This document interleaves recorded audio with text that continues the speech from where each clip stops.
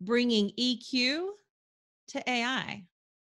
I'm Tonya Hall, and joining me is Dr. Rana El Kaliouby, co founder and CEO of Affectiva. Welcome, Rana. Hi, thank you for having me, Tonya. Absolutely. Remind us again uh, what Affectiva does and why you started the company. Um, so Affectiva is on a mission to humanize technology. We basically build algorithms using computer vision and speech analytics that understand human emotions, cognitive states, behaviors, and really like how do humans communicate and connect with one another. And we believe that technology absolutely needs to have this kind of emotional intelligence. You use the term human centric AI. In fact, you have an entire event built around that. Let's start by defining what human centric AI is. Yeah, human centric AI. So I like to say when we are building and thinking about artificial intelligence, it should really be about the humans and not about the artificial, right? And so um, our theme for the summit this year, which is the third time we're having the summit, um, is human centric AI. So, human centric AI is this idea that we're putting humans at the center of artificial intelligence. It's not really about the artificial, it's really about the people we're designing this AI for.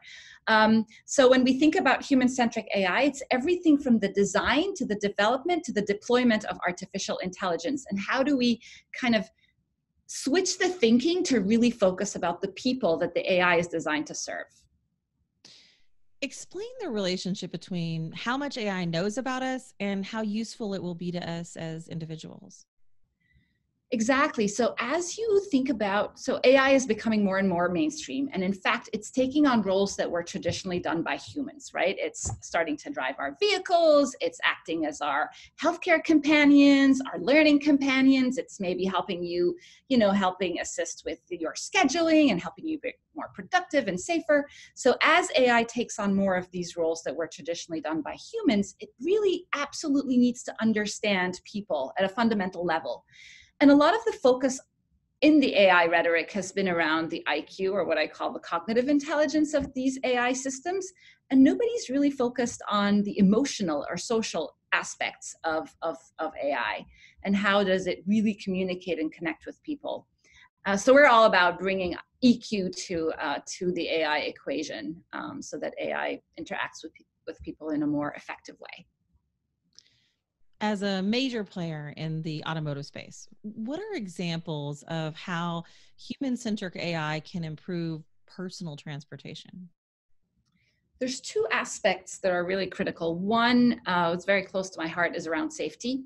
Um, so if you think about even with increased automation, um, the number of accidents is actually going up because people are more distracted. They're perhaps more frustrated with the automation in the vehicles, and they're they're definitely um, uh, yeah, distracted and frustrated and, and fatigue. We see a lot of examples of drowsiness. So, one use case is to use our technology to detect in real time signs of distractions and drowsiness, and then have the car intervene in real time. So, you could imagine if a driver is falling asleep and this vehicle has semi autonomous capabilities, then the car could actually say, you know what, at this moment in time, I'm going to be a safer driver than you are, and it can take control over.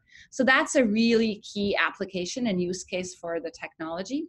Another is around this handoff challenge between uh, a code pilot or a driver in a semi autonomous vehicle. Um, in a semi autonomous world, uh, for example, you know, uh, if you think of a Tesla, as the vehicle is driving itself, it may run into conditions where it needs to transfer the control back to the driver or the co-pilot.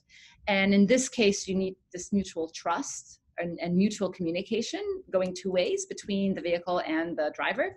Um, and that includes understanding the state of the driver is the driver paying attention is the driver asleep is the driver you know on their phone are they in a state where they can actually relinquish control back from the vehicle and vice versa? Uh, so that's a really key um, application. And then as we kind of um, see the um, the world of autonomous vehicles unfold with robo taxis um, it's all going to be about the transportation experience. It's going to it's not going to be about the driving anymore, right? And so there's an opportunity with our in-cabin sensing technology to understand how many occupants are in the vehicle, what's their demographic, are they interacting with each other, what's the general sentiment of the of, of the of the cabin, Um, and then you can personalize and optimize and even monetize that driving experience. To what degree should we be skeptical or cautious about letting AI know too much about us? I mean, how do we ensure that the ethical development and deployment of AI based technologies?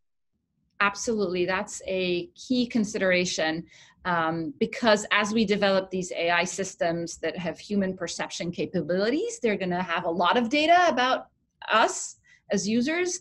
And it's really important that we really think through how this data is being used. And as you said, we like to think about it in two buckets. One is around the development, the ethical development of AI, and the other is around the deployment of AI. So on the ethical development side, it's all about uh, mitigating data and algorithmic bias. Um, it's really important when we're training these algorithms to detect, say, a smile expression or a brow furrow, that the data is very diverse ethnically diverse, gender diverse, age diverse, but even like contextually diverse, right? Like we need to see people smiling or falling asleep, you know, when they're in their homes, as well as when they're driving or when playing a game or watching video. So the more contexts we are able to represent, um, the, the, the more representative the data is and, and the less likely it's gonna be biased towards any particular subpopulation. So that's really critical, this issue of bias. On the deployment side, it's more about like, how is this technology being used and um, for us as a company, we have steered away from use cases where people don't know that this data is being collected.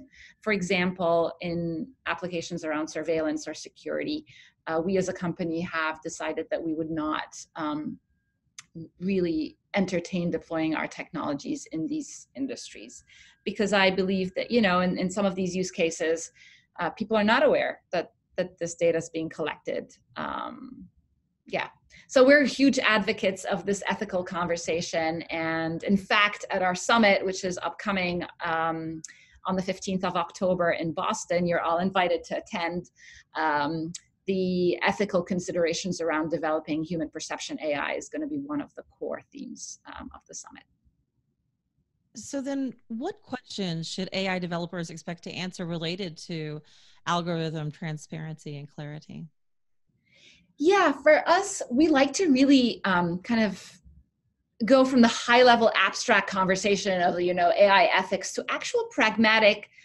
How do I build you know ai algorithms that reduce bias and so what we've done at affectiva is we've mapped out the machine learning pipeline if you like. Everything from data collection data acquisition data annotation all the way to the training and the validation of these algorithms and basically develop best practices on how do you mitigate bias at each of these steps.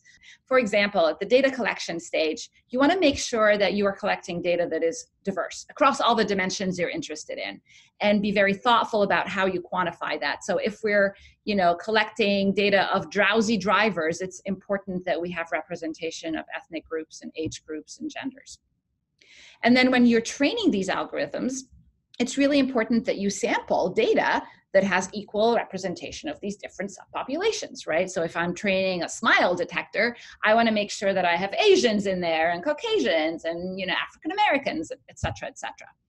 Um, and then when we are looking at the um, accuracy results, it's kind of interesting how the machine learning space has evolved over the years. When I was a PhD student over 20 years ago now, um, you just reported one accuracy score. So I would say, oh, my smile detector is 99% accurate that's not good enough anymore. You have to now report it by these different subpopulations because that's the only way you are able to uncover if there is some bias um, hidden in, in these algorithms. So you can, you know, we look at them very specifically in different age buckets, ethnic groups, and you know, genders to see if there are any accidental biases built into these um, algorithms. So um, yeah, so uh, you know we we're very we're we're huge advocates of really bringing the ai ethics conversation and reducing it to practice and helping um, machine learning scientists and ai thought leaders and innovators to really implement best practices that help them avoid data and algorithmic bias.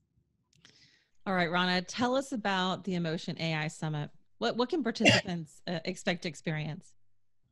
Um, so um, at the Emotion AI Summit, which we're hosting on the 15th of October in Boston, it's a beautiful time of the year uh, to be in Boston, actually, because uh, the leaves are just about starting to turn uh, color. Um, so the theme is human-centric AI, and it's all about how can AI, uh, as it starts to take on roles that were traditionally done by humans, um, help us be safer, be more productive, be healthier, be more connected, and feel more empowered. So it's like turning the AI conversation on its head and really centering around what can AI do for us, right? Each one of us. Um, there will be about 30 speakers lined up from the industry, thought, you know, um, and about 400 business executives in the audience. Um, we take pride in that our event is very, very interdisciplinary and very diverse. It's one of the key things we look at when we're putting the agenda and, and the, you know, the uh, invitations out. Um, so we want it to be a very rich conversation to advance the space of human perception AI. Uh, we're going to talk a lot about the ethical considerations. It's actually a thread across the whole event. Um, and we have a number, yeah, a number of thought leaders um, that, that will kind of take us through their thinking and what's happening in the space and some of the opportunities and the challenges and it's open to everyone. So please, please check out our website, emotionaisummit.com and register. Sounds good. Dr. Rana El Kaliouby, co-founder and CEO of Affectiva. You mentioned how they can go to the event, but if somebody wants to connect with you and find out more about your company, how can they do that? Um, I am very easy to find online. You can find you can follow me on Twitter at uh, Kaliouby or on Instagram at Rana El Kaliouby. You can also follow Affectiva um, on Twitter and Instagram as well. All right. Thanks again, Rana. And if you guys want to find more of my interviews, you can do that right here or go to tanyahall.net. Thanks for watching.